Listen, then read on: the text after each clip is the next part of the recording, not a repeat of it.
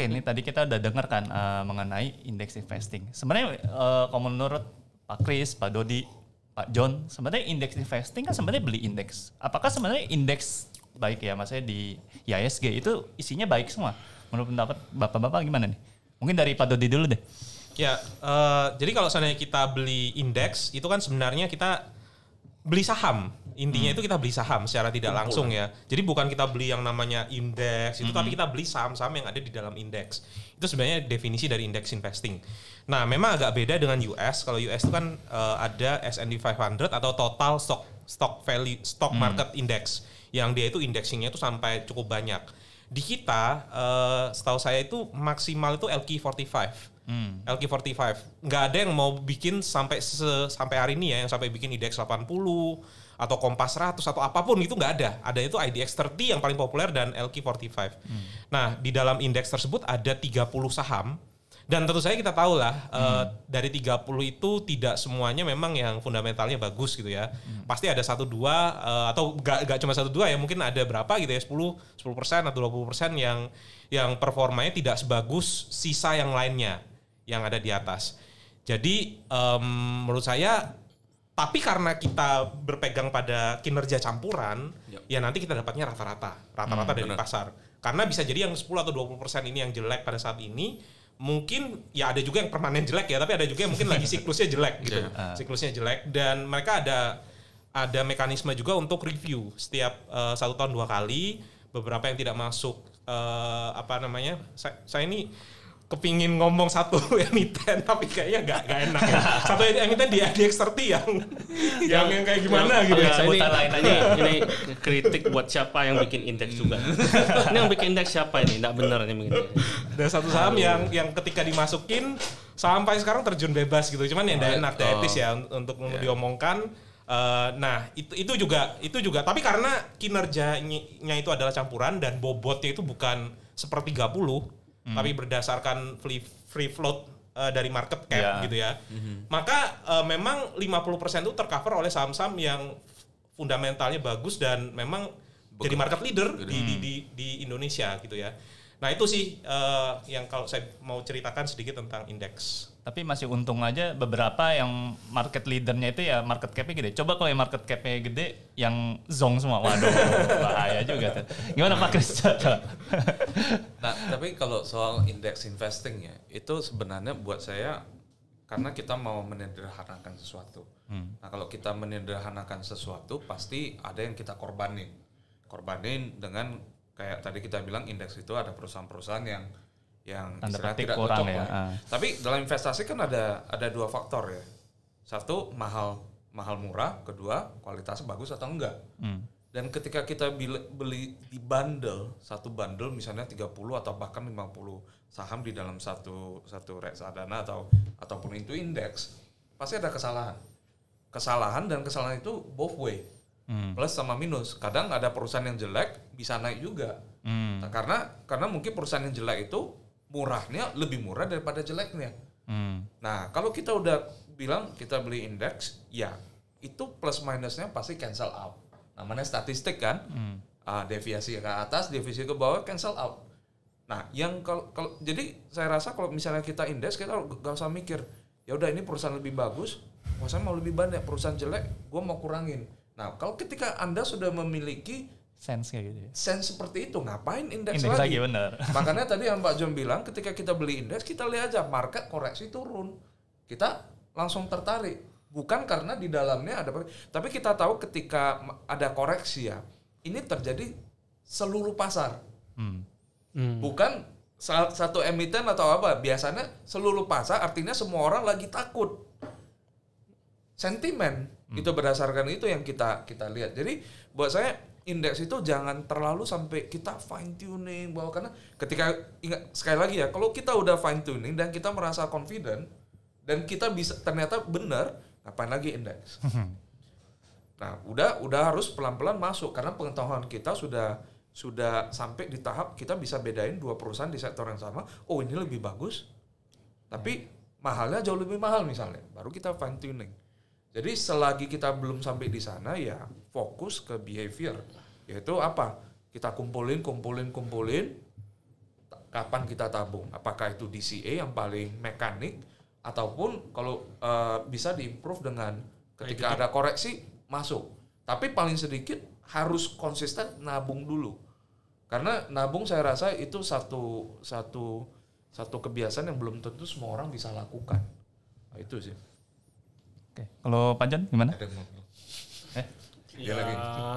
eh, mungkin se- sebagian besar sudah disampaikan oleh Pak Dodi dan Pak Kris ya. Pak Dodi tadi eh, mengatakan bahwa eh, pasif index eh, yang di, yang sudah ditentukan itu tidak semua misalnya IDX30 atau LQ45 tidak semua saham yang ada di dalamnya itu pasti bagus juga ada sebagian yang eh, kurang bagus tapi itulah eh, memang eh, the game. Karena didesain untuk orang yang memang eh, ingin eh, return secara komunal secara semuanya ya.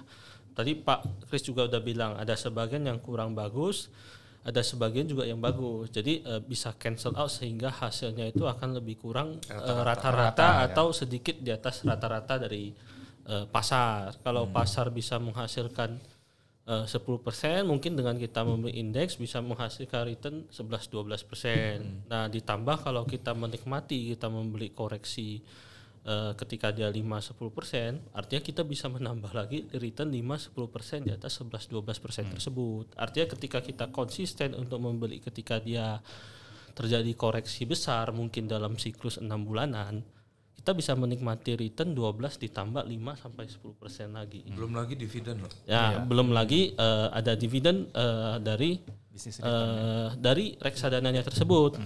Tapi di, di cancel out biasanya sama expense ratio. Tapi tergantung expense ratio-nya juga. ya. Dividen kan mungkin bisa Bisa 2 dua persen. Ya. Atau setengah. Ya kalau expense ratio-nya 3 persen ya habis. Ya, Aduh, jadi 3%, waduh. ya anggap it- ya maksud saya eh, it's, it is still okay dan eh, mu- mungkin banyak teman-teman yang belum sadar mungkin magic of compounding ya.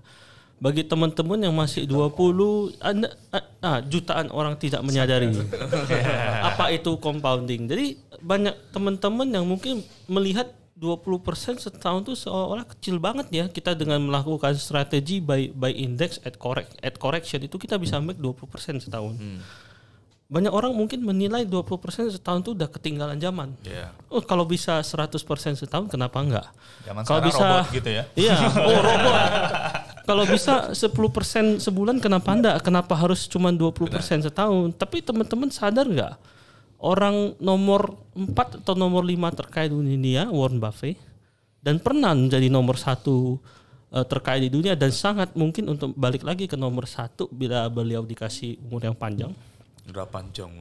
panjang ya kalau, kalau lebih panjang lagi kan masih mungkin untuk balik ke nomor satu itu returnnya ya 20% Ya. tapi beliau melakukannya dengan konsisten selama, selama 60 tahun 70 tahun dari sejak beliau masih kecil ya jadi saya kira eh, tidak milenial kok- kok- sorry jangan ngomong milenial ya nanti saya di, udah tadi saya bahas stereotip jadi maksudnya hari ini. eh Teman-teman. Teman-teman baik usianya berapapun harus belajar untuk menunda. Sabar, ya. 20% setahun itu besar sekali kalau anda bisa melakukannya eh, konsisten secara eh, terus menerus tentu kalau kita bisa lebih kita mau tapi tetap dengan prinsip-prinsip eh, investasi yang rendah risiko seperti itu. Tapi maksud saya adalah untuk full proof ya istilah full proof untuk teman-teman yang belum ngerti banyak belum ngerti apa itu laporan keuangan belum ngerti apa itu opportunity cost belum ngerti apa itu good corporate governance belum ngerti apa itu business model ya belum ngerti, belum tahu apa itu uh, capital allocation dan lain-lain. Saya kira uh, reksadana index is the way to go. You can make 20% with a very low risk selama uh, anda menginvest. Behaviornya tepat dan uh, uangnya dingin untuk 2 sampai 3 tahun ke depan. I think that is the that is a good way to start uh, investing. So you don't have to pick your the stocks yourself. Uh, let the uh, let the professional lah pick uh, pick for you gitu ya. You will get uh, some some uh, bad apples among the good apples, but that is still okay uh, uh, for for you ya kan. Kecuali nanti seperti Pak Kris tadi bilang, lu udah bisa fine tuning gitu ya. Istilahnya lu udah bisa fine tuning, lu udah bisa bikin mobil balap ngapain lu bikin mobil biasa lagi ya?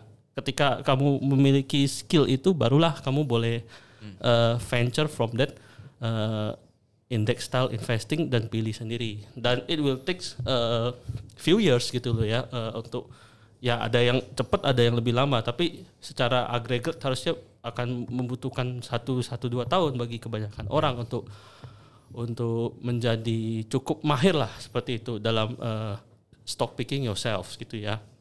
So uh, jangan buru-buru take your time enjoy it because time will not be back gitu ya. Mungkin mungkin saya tambahin sedikit ya. Tadi saya eh, suka sekali dan Pak yang apa yang Pak John katakan ya, kita memilih apel yang baik Bagus. banyak apel baiknya daripada apel yang busuknya. Karena mungkin kalau pemula kan ingin pilih saham sendiri misalnya 10 ternyata salahnya 7. ya lebih baik kita ya pemula ya beli indeks saja yang yang secara apa Agregat udah agregatnya ya memang ada yang jelek tapi tertutup dan lebih banyak yang bagusnya daripada yang jeleknya dari Iya. 30 tadi. Nah, nanti ya stepnya mungkin dari 30 itu dikeluarin lah apel-apelnya udah ngerasa ada tuningnya berapa ya udah di jadi mungkin jadi 20 10 ya terserah di pick sendiri ya.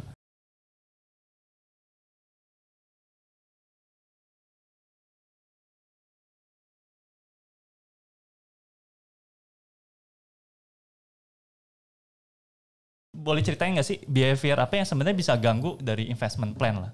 Ya eh, intinya ya misalnya tiba-tiba uangnya ditarik atau apa yang itu sebenarnya kan ganggu dari investmentnya gitu. Bo- Mungkin cerita Pak Kris boleh cerita. Buat saya yang paling besar itu reaktif sama berita atau mungkin eh, berita-berita yang istilahnya eh, mengganggu kinerja pasar ataupun perusahaan di jangka pendek. Nah, tapi kalau kita lihat ya sama seperti kalau kita di dalam dunia bisnis ya. Di dalam dunia bisnis gak ada orang pebisnis yang bilang, "Oh, tahun ini saya harap gak ada masalah." Nggak ada. Anda buka hari ini buka bisnis restoran, Anda bisnis uh, distributor, selalu ada yang namanya masa-masa kekeringan. Makanya di dalam bisnis itu kita diajarkan harus ada buffer, ada cash gitu. Nah, di dalam saham anehnya kita ekspektasi perusahaan itu selalu berita bagus terus gitu. Nah, saya rasa perusahaan itu sama seperti badan kita ya. Kita setiap hari pasti ada bakteri sama virus. Kan? Cuma kita nggak tahu aja. Kita tahu ketika overwhelm. Nah, itu pun jangka panjang kebanyakan penyakit itu nggak bisa membunuh kita. Nah, ini sebenarnya kan sesuatu yang kita tahu. Tapi masalahnya bayangin kalau setiap hari badan Anda ada ada indikatornya, tingkat virus berapa gitu, tingkat sama seperti kita ada air quality level ya. Kadang begitu ditahu kita jadi parnosi, waduh hari ini polusi gitu apa. Nah, sama juga kalau di dalam pasar ketika kita membeli, kita ngumpul-ngumpul. Nah, tadi saya bilang kan resiko terbesar adalah kita nggak punya exposure yang cukup terhadap investasi eh, investasi kita. Bayangin kalau misalnya ada krisis, orang itu keluar gara-gara waduh ini kayaknya nggak bagus nih misalnya. Nah itu dulu ketika awal covid saya ada baca berita di Am- Amrik begitu banyak itu orang-orang yang mau pensiun itu harus keluar ketika market turun itu hampir 20-an persen ya. Dan itu mungkin mereka benar jangka pendek. Tapi pertanyaan selanjutnya, Anda bayangin keputusan nabung yang Anda lakukan mungkin setiap bulan ya. Mungkin orang itu bisa 20 tahun, duit sebanyak itu Anda disuruh masuk lagi. Tiba-tiba Anda pasti takut dong. Keluarnya mudah karena sangat jelas signalnya. Masuknya itu pertanyaan yang beda lagi. Kalau dulu kan cuma ah 2000 dolar, 2000 dolar atau misalnya 10 juta, 10 juta. Ini bayangin tiba-tiba 800 juta. Nah, itu se- secara emosional itu akan sangat uh, create problem. Nah, makanya behavior be- behavior yang saya kadang bilang sama orang, udah lupain aja. Lupain, Anda uh, banyak orang yang nggak tahu bahwa berita itu sebenarnya tidak begitu pengaruh di dalam performa investasi Anda jangka panjang. Jangka pendek pasti kena, tapi kalau Anda uangnya dingin, Anda tidak ada rencana untuk pindah-pindah, ya buat apa Anda lihat baca berita bahkan tiap hari gitu.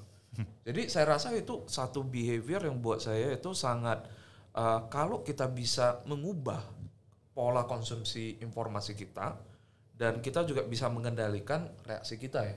Kadang kita juga gak enak lah, waduh ini kayak kayaknya semua merah semua pas kita masih 100% di dalam gak ada cash. Nah, makanya di sana buat saya dalam perjalanan saya terutama dari awal ya investasi saya ini sangat penting. Anda defensif, Anda enterprise sama juga. Ini satu behavior yang saya rasa perlu diperhatikan setiap orang di dalam investasi. Oh iya. Ya. Oke, kalau Pak Dodi gimana? Sebenarnya tadi sama dengan Pak Kris ya. Tadi kalau mau saya simpulkan apa yang diomongkan Pak Kris itu adalah market timing lah istilahnya ya. Jadi Ya. berusaha untuk keluar pada saat market lagi puncak-puncaknya atau lagi mau turun itu bisa benar, tapi yang sa- yang bisa salah itu adalah masuk. Jadi harus ada dua decision yang benar kalau mau market timing ya. Dan mungkin sekali bisa benar, tapi kali Pas kedua. Iya. malah tambah ini. Ataupun keluarnya pada saat yang salah ya, keluarnya pada saat di Di bottom. tengah-tengah gitu ya. tengah-tengah. di bottom terus marketnya rebound gitu. Iya. Nah itu itu masalah dari orang yang eh, merasa kalau dirinya itu bisa memintari market ya. Kalau saya mau tambahkan lagi ada satu lagi masalah yang buat pemula itu adalah kenapa ketika mereka belanja eh, di minimarket ya mereka suka nyari yang lagi diskon harganya. Tapi kenapa ketika di pasar ngelihat ada merah-merah atau minus-minus, mereka tidak menganggap ini sebagai suatu diskon atau lagi terdiskon. Dan yang paling lucunya lagi adalah kan eh, beberapa kali karena kita nasabah dari bank ya, beberapa ada juga marketing dari reksadana atau apa yang datang terus ngomongnya kayak gini, Pak ini loh kinerjanya dalam dalam satu tahun terakhir ini naik Nah, 20%. Ini kesempatan. Padahal harusnya kan kita sama kayak di minimarket datang, Barang naik. Pak ini barangnya naik dan naik 20% Pak kesempatan kesempatan dibeli kan nggak make sense. Iya. Kalau kita buka HP kita, kemudian lihat aplikasi, mau pesan makanan, carinya kan yang Diskon. yang diskon, yang lagi minus, Iya. yang lagi minus. Tapi ketika ketika beli beli saham atau beli reksadana saham, justru carinya yang lagi plus. Takut ketika lagi minus. Auto reject gitu ya. Iya. Banyak sekali yang waktu saya posting itu di 2020 tengah, mereka tanya ya, reksadana indeks kan satu tahun terakhir lagi minus, minus 15 persen.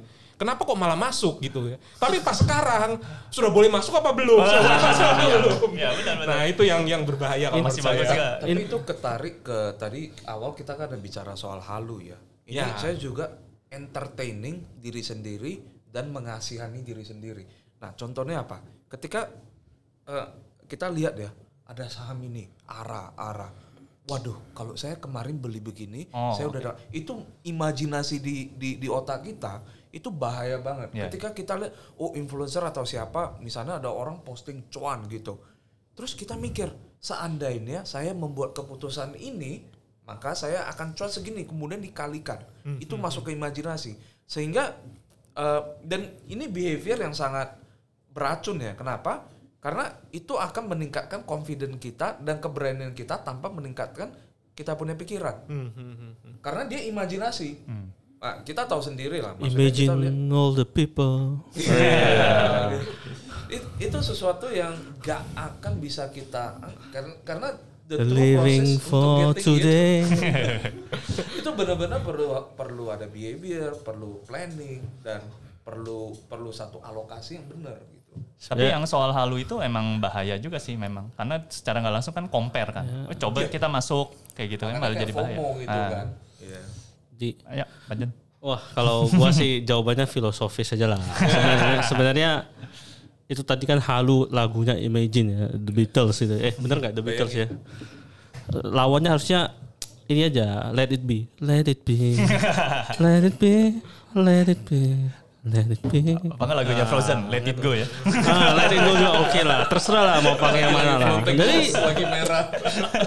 kalau filosofi saya satu tahun lebih udah di Jakarta ya. Kalau orang Jowo ngomongnya nerimo gitu loh ya. Ya kalau kita dikasih cuan eh, agak dikit ya nerimo, agak banyak dikit ya nerimo juga. Kalau dikasih cuannya agak eh, cepet ya eh, kamsia gitu ya. kalau kita kasih cuannya agak panjang juga ya thank you gitu ya.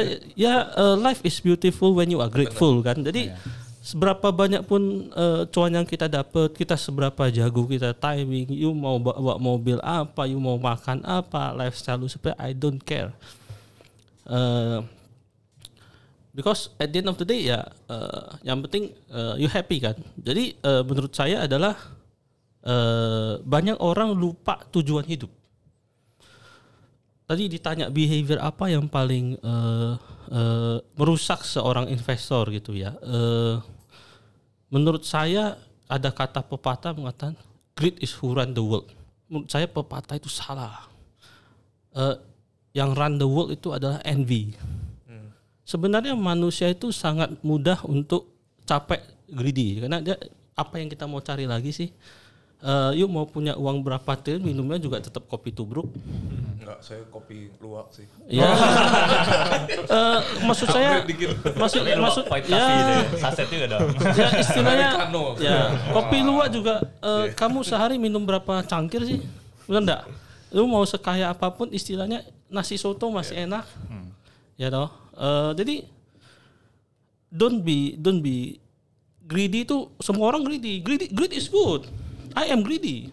Kalau saya nggak greedy, saya nggak bisa cari return yang eh, lebih tinggi daripada orang lain.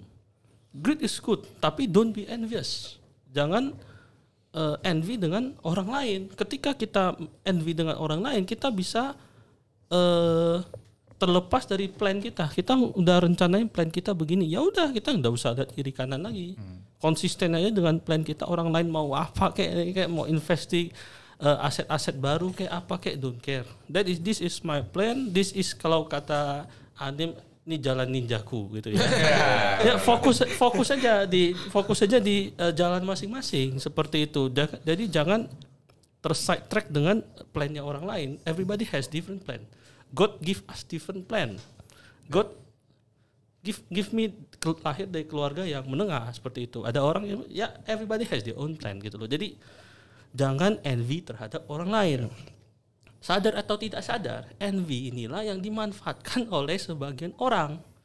Baik itu influencer dan lain-lain yang memamerkan eh, harta mereka, mema- memamerkan Lamborghini mereka, memamerkan Ferrari mereka, memamerkan Porsche mereka, memamerkan eh, cuan mereka yang mungkin bahkan cuma 10% itu bikin saya ketawa. Tapi dipamerin eh, that is almost uh, certain way dalam 10 detik saya bisa bilang orang ini tidak kompeten. Orang yang kompeten saya ketemu banyak bos-bos pakainya cuma celana pendek kok. Makannya sederhana dan lain-lain. Enggak pernah uh, pamer-pamer uh, makanan mewah dan uh, lain sebagainya. Mungkin ada sebagian, tapi kebanyakan tidak. belum, belum. ya, so uh, I think behavior apa yang harus dihindari oleh investor nomor satu adalah envy don't be envious of other people ketika kita envious we will uh, make decisions that we will regret uh, uh, our life ya jadi uh, ketika kita melakukan sesuatu atas dasar kita jealous terhadap orang lain kita akan menjadi uh, menyesal di kemudian hari 99,99% itu saya bisa jamin dan Anda mau tanya siapa pun yang udah pengalaman tidak hanya investasi ya dalam hidup dan lain macam pasti setuju. Ya, jangan pernah membuat keputusan atas dasar kondisi orang lain. Tentukan jalanmu seperti apa, eh, lakukan seperti itu. Eh, as simple as that gitu. Enggak, enggak perlu susah-susah amat begitu. I don't really care orang mau beli ini beli ini. Selama saya masih bisa eh, investasi saham, saya masih bisa eh, makan soto, saya masih bisa bayar apartemen, saya masih bisa bayar Grab, I am happy gitu. Uh, that's my life and I don't care shit about yours gitu. As as that gitu. Kalau saya sih envy yang harus kita hindari dan sadar atau tidak sadar dua tahun terakhir ini envy yang dimanfaatkan oleh banyak Nah, sekali iya. influencer, pom-pomers memperkaya diri mereka dengan memis- memi- memiskinkan banyak orang seperti itu. Jadi uh, we have to learn not to be envious. Itu kira-kira begitu. Kalau kalau mau nambahin sedikit, yang envy saya ingat Pak John waktu di eh, seri saham logis ya, envy itu merupakan dosa yang tidak ada untungnya sama sekali Iya. dibandingkan dengan yang lain-lain. Iya. Misalnya greedy kan ya. mungkin Ah. kalau misalnya kita makan atau kita apa kan ada something yang kita dapatkan Iya. yang meskipun juga buruk ya. Iya. Tapi kalau envy sama sekali nggak ada benefit jangka pendek yang kita dapatkan. Ada tu- tujuh dosa Yunani kuno. Ya. Eh, kalau kita gluton artinya kita pengen kita itu Rakus hobi makan, rakus ya, makan. Rakus makan. Enak loh makan soto tiga mangkok. gitu ya. Eh, terus eh, enak loh makan KFC ya, restoran eh, terbesar di Indonesia ya yang harganya enak dan murah. oh, tidak boleh sebut emiten. ya, masih enak loh ya. Kalau kita istilahnya nafsu birahi ya, masih enak loh. Kita masih mendapatkan uh, something kepuasan secara eh, kita ini kan manusia bener nggak kita kita we need we need that kan. Jadi dari tujuh Yun- Yunani tujuh dosa Yunani kuno hanya envy yang tidak ada untungnya. Kalau envy kita untungnya apa? Orang lain sih. Orang Envy lain yang untung, benar. buat Iya. kita. Kita malah envy jadi buat- racun. iya Racun. malah kita jadi racun buat diri kita sendiri so Iya. why do you keep uh, envy gitu loh ya Iya. tentu sebagai manusia kita dilahirkan dengan uh, envy tapi uh, kalau kita mau sukses dan kita mau ini ya saya yakin anda mau tanya uh, owner dari konglomerat dan sebenarnya jawabannya pasti sama juga. Dan tidak peduli kamu kamu mau bisnis apa kamu mau usaha apa kamu mau kerjanya apa karyawan juga jadi apa. Fokus fokus with your with yourself gitu. Uh, bu- fokus with yourself follow your plan follow your conviction. Ya seperti itu. Kalau salah ya salah bener ya bener. Nggak Yeah. nggak usah uh, peduliin uh, orang lain dalam konteks uh, opini gitu ya dalam konteks opini pribadi nggak perlu bawa-bawa nama orang lain seperti itu karena yang akan menikmati baik itu benar atau salah adalah diri anda sendiri. Ngapain anda mencari eh, kebenaran kepada orang lain seperti itu? Kira-kira begitu. Jadi don't be envious gitu ya. Itu pesan, pesan saya sih yang satu tapi eh, sulit untuk dilakukan. Ah, Tapi ya itu benar, maksudnya envy itu sangat bahaya banget buat di investment plan. Bahkan buat perusahaan pun juga mengganggu banget, jangankan personal. Nah, ini cerita refer ke Peter Lynch kan, ada istilahnya diversification nih. Nah, kalau menurut Pak Kris, em, Pak Dodi, diversification apa sih yang paling parah mungkin buat investor? Ya, ya komposisi Ya, portfolionya lah. Kalau menurut saya Pak Dodi dulu mungkin. um, ada investor yang for the sake of uh, don't put apa uh, All eggs in one basket. all eggs in one basket. Akhirnya mereka coba coba comot comot comot aset-aset yang yang harusnya yang nggak perlu gitu loh. Ini mungkin banyak juga ya. Saya sempat Cobanya ada- lima robot tapi. Itu meme yang baru ya. Co- cobanya ya. cobanya 10 10 10 ini ya 10 Apa apa robot? DNI Pro itu. Nyobanya 10 tapi semuanya DNI. Pusing gitu. Oh, iya. Nggak, ada merek loh. Gue ganti E jadi I loh. Ah.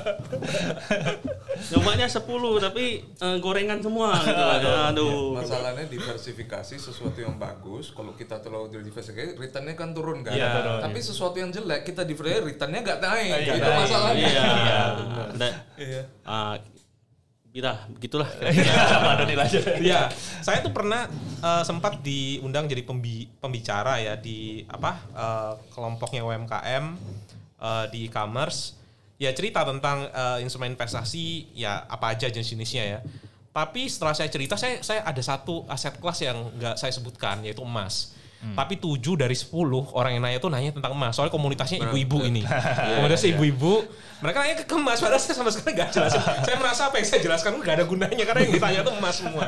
Nah jadi eh, saya saya saya eh, kalau saya mau diversifikasi, kadang-kadang kalau kita diversifikasi ke aset kelas for the sake of karena ya semua orang pilih aset kelas ini ini jadi diversifikasi ya. Misalnya kayak ya eh, aset blok blockchain gitu ya. Nah itu kan eh, unsur produktivitasnya kan nggak ada atau tanda Iya. tanya ya. Itu kadang-kadang juga bukan wujud diversifikasi juga sih kalau menurut saya ataupun emas gitu ya. Iya. Ini ini sorry ya apa namanya bagi tapi saya sebenarnya sudah banyak yang tahu lah kalau saya juga nggak nggak di emas. Ah. Gitu. Nah itu yang em, kira-kira bisa menjadi diversifikasi kalau kita taruh di uh, instrumen investasi for the sake of ya cuman sekedar mau punya aja. Biar rame aja. Biar rame aja. Saya habis nikah banyak kan dikasih emas. Oh, jidat. Tapi mungkin mungkin saya tambahkan kalau untuk emas ya, karena ini uh, ada satu prinsip yang penting juga yaitu know what you own. Artinya ketika memiliki sesuatu, kita harus ngerti dalamnya apa, termasuk saham, termasuk reksadana. Banyak loh yang beli reksadana gak baca biaya, Iya. Manajemennya siapa itu gak dibaca gitu. Nah, Itu tapi, namanya hoki investing. Ah. tapi buat Sedang menguji hokinya di Iya. pasar modal. Ah, ya kira buat, orang-orang yang yang mungkin dari background UKM atau apa, memang yang mereka ngerti di generasi mereka mungkin emas dulu dan memang seharusnya dari emas diversifikasi ke mungkin mata uang baru masuk ke instrumen seperti uh, fixed income atau apa. Tapi buat saya hari ini kalau generasi kita misalnya generasi yang lebih muda yang memang bisa baca nih kan bisa baca saya yakin mau baca itu hal yang lain lagi. Iya. Nah, mereka mulainya saya rasa mungkin gak usah dari emas, mulai aja langsung dari uh, deposito atau bahkan udah uh, uh, obligasi pemerintah dulu. Karena saya rasa itu bottom line-nya ya dari sana. Karena kan opportunity cost juga sebenarnya. Kan. Oke, kalau gitu, Pak John. Gue lupa pertanyaan apa ya? Diversification. Oh, Ya. diversifikasi. Soalnya udah ada dalam kamu saya. Makin lupa ya. Makanya lu Jadi Asal nembak lah. saya tidak pernah pakai kata diversifikasi, tidak pernah pakai kata diversifikasi because I don't understand what is Yeah. diversification. Apa itu diversifikasi? Karena you will never uh, that you can have never enough diversification to correct your ig- ignorance. Artinya Anda tidak akan bisa punya diversifikasi yang cukup untuk mengabaikan ketidakmau belajaran Anda. Ya. Jadi menurut saya daripada eh, fokus diversifikasi emas lah, properti inilah, belajar, think gitu ya, belajar, belajar. Ya kalau anda mau invest di properti, belajar properti. Kalau anda mau jadi master di kos kosan, ya belajar kos kosan. Anda mau jadi master di pengusaha, ya belajar eh, jadi pengusaha yang baik dan benar itu seperti apa. Anda mau eh, jadi investor eh, bisnis eh, direct ya, bisnis langsung ya, bisnis direct, ya belajar dari investor eh, bisnis direct seperti apa. Anda mau jadi eh, dosen yang baik, belajar sama Pak Dodi. Anda mau jadi kontraktor yang baik, ya kerja dulu di perusahaan kontraktor yang baik gitu kan. Jadi eh, kira-kira saya tidak per- ter- pernah tertarik namanya diversifikasi. Eh, saya juga tidak percaya yang namanya put all eggs, eh, don't put your eggs in one basket. Setahu saya ti- Warren Buffett tidak pernah mengatakan kalimat itu dalam bukunya. Saya sudah baca banyak buku Warren Buffett, saya tidak pernah menemukan kalimat itu. Mungkin orang yang mengatakan Warren Buffett mengatakan itu hanya baca judul tapi tidak baca bukunya. Nah, kira-kira eh, seperti itu. Tapi menurut saya terlepas dari berapa basket yang harus kita taruh dan telurnya apa yang kita taruh, eh, belajar is is the is the key sih. You you you know very well about about what you do. Itu itu menurut saya eh eh, bagus. Mungkin filosofi yang paling dekat itu adalah seperti kita punya eh, anak, ya. Eh, kalau yang belum menikah mungkin kita seperti punya misalnya saya eh, ada bisnis. Tiga ada nikah. ini tiga udah nih. Gue yang belum nih tadi maksudnya istilahnya eh, misalnya saya punya bisnis thing gitu ya. Saya mau hire orang saya akan pikir dulu saya mampu untuk mengawasi eh, berapa orang eh, di bawah saya. Kalau saya sanggup untuk mengawasi enam secara intens ya saya hanya akan hire enam di bawah saya kalau saya merasa saya cukup eh, mampu untuk memanage 8 orang ya saya akan hire 8 orang. Jadi berapa banyak yang kamu beli adalah tergantung kamu bisa menghandle berapa banyak seperti itu. Jadi kalau kebanyakan orang itu menurut saya hanya mampu handle 5. Eh, kalau di atas 5 itu most likely udah menipu diri.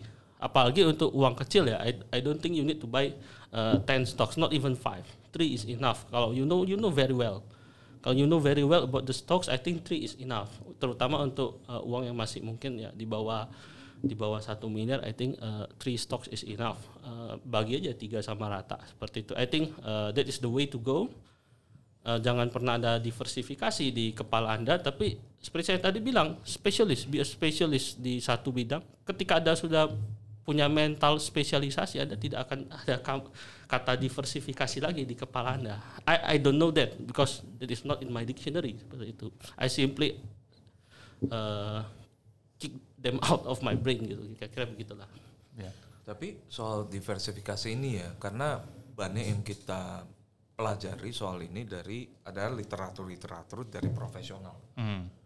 Dan sedangkan yang kita lihat posisi kita kalau kita manage uang sendiri, atau uang keluarga, atau em, istilahnya retail investor ya, Hmm. itu sebenarnya kita memiliki parameter yang berbeda dengan profesional. Ya.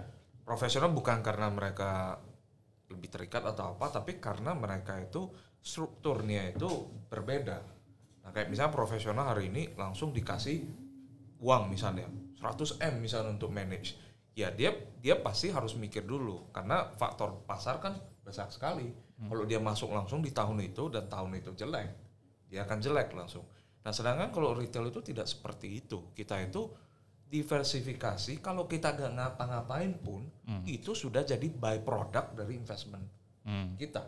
Jadi gak usah sengaja dicari gitu loh Apalagi bikin indeks sendiri gitu ya. iya Di indeks sendiri cocok-cocok. iya itu untuk tapi kalau udah bi- anda bisa lakukan itu kenapa gak langsung ke saham Iya. misalnya tadi eh, John bilang 3 sampai 5 banyak orang kaget tapi anda tahu ya di dalam indeks itu tadi Do- Pak Dodi udah bilang ya itu IDX 30 itu berapa persen di Enam, mungkin enam 6%, saham. itu berapa persen Lima- 50 sampai 60 persen. 50% saham doang. Hmm. Jadi hari ini kalau Anda Market mau floatnya gede di- replikasi, Anda gak usah replikasi 100%. Kalau Anda pegang 6 saham, Anda sudah 50% replikasi gitu. Hmm.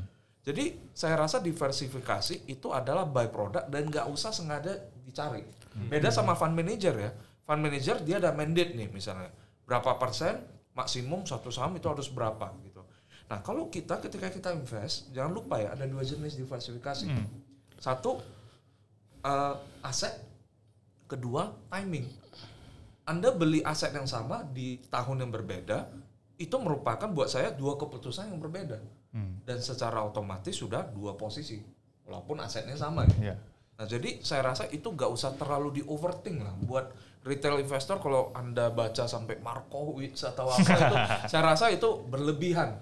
Bahkan kemarin ada artikel ya saya baca itu Markowitz ditanya how do you invest gitu kan dia bilang frontier efisien enggak I just put 50-50 gitu Markowitz saja jawab begitu untuk personal portfolionya dia Ah. jadi saya rasa diversifikasi sekali lagi itu adalah by product, itu hasil, bukan sesuatu yang kita targetin Hmm. dari awal. Itu. Oke deh kalau gitu. Biasanya yang banyak ngomong diversifikasi itu nggak beli saham biasanya. Atau fund manager. Ah. Iya, memang profesional. Iya. Saya yang ngomong diversifikasi harus beli 30 macam. Ya, Waduh. Tapi kalau yang Puyeng ya? nangkep sini, artinya kalau boleh diversifikasi, kalau ngerasa spesialisasi nih, udah spesialisasi Udah ngerti, tiga, udah baru ngerti baru masuk bel- gitu loh. Iya. Nah, Dan cuma di sana uangnya harus besar. uangnya ya benar. Kalau nggak besar itu nggak, definisinya mungkin eh, puluhan triliun mungkin. Jadi itu baru worth untuk diversified mungkin 10 20 stocks gitu 10 ya. M ke atas sudah oke lah. Uh, 10 10 billion is small. Uh, man, oh come on. Small. 10 billion is lu mau beli rumah di Kemang nggak bisa. Iya, tapi kalau 10 billion diversifikasi pasti udah di rumah sendiri sama-sama. Udah dua posisi sebenarnya. Banyak orang nggak nggak masukin itu ke dalam network mereka ya. Dan wah diversifikasi lima posisi, padahal porsi sahamnya baru 10% kayaknya. nah jadi gak efek, Anda diversifikasi atau enggak sebenarnya tidak ngefek. efek ya. Mau naik satu bagger pun cuma nambah 10% Iya, ya. langsung 10%. Kan? Kira-kira begitulah. Iya. Ya. Nah, kalau ceritanya diversifikasinya lihat volatili eh tuh beta lah ngomong gampang ya. Intinya kan lihat market malahan. Varian baru ya. Nah. beda. Udah sampai ini ya. Delta ya, Delta. Market volatility. Market volatility itu kan berarti beta itu market volatility. Artinya kita menilai sebuah saham itu beresiko atau tidak tergantung seberapa fluktuatif eh, harga dari sebuah eh, saham tersebut. Sedangkan kita tahu sendiri harga itu terutama dalam jangka pendek itu eh, tidak hanya dipengaruhi oleh fundamental daripada eh, bisnisnya, tapi bisa dipengaruhi dari mood eh, market. Sentimen. Market itu tidak lain tidak bukan adalah kita sendiri sebagai eh, investor maupun eh, trader lah ya kalau kata orang eh, seperti itu. Bagi saya di market itu 98% 97% itu mungkin eh, trader yang mengabaikan eh, fundamental daripada eh, sebuah investment ya. Mereka hanya melihat fluktuasi harga naik atau turunnya. Mungkin kalau tipe-tipe yang seperti itu cocok untuk menggunakan eh, beta atau market volatility sebagai panduan mereka dalam berinvestasi. Tapi saya sih eh, tidak pakai itu dan tidak merasa itu benar. Sebagai contohnya kalau saya saya punya perusahaan yang sama persis saya IPO kan dua-duanya dengan kuantitas yang sama semua company idem kebetulan harga sahamnya satu lebih fluktuatif, apakah company-nya eh, lebih less valuable, lebih tidak berharga dibanding dengan company yang harganya lebih stabil. But they are the same company, so uh, I think market volatility itu tidak bisa menggambarkan fundamental daripada uh, fundamental atau investment decision daripada uh, sebuah proses gitu ya, sebuah proses investasi begitu. Tapi kalau mau proses trading atau proses eh, kalau bahasa saya proses spekulasi ya itu eh, balik kepada masing-masing. Jadi saya memilih untuk berada di dalam eh, kaum 1 sampai 3% dari pelaku pasar yaitu sebagai eh, investor yang basisnya adalah fundamental of the company. Dengan kata lain saya concern kepada bagaimana company akan mencetak laba ke, eh, ke depannya bukan eh, harga sahamnya naik atau turun. Harga saham kalau turun saya beli lagi. kalau naik saya jual as simple as that begitu. Kalau turun ya beli lagi semampunya. Eh, kalau turunnya banyak ya saya happy juga. Eh, beli lagi seperti itu. Kalau masih ada dana yang eh, nganggur seperti itu kira-kira begitu. So uh, I don't I don't use uh, beta as investment uh, decision as part of investment decision. No.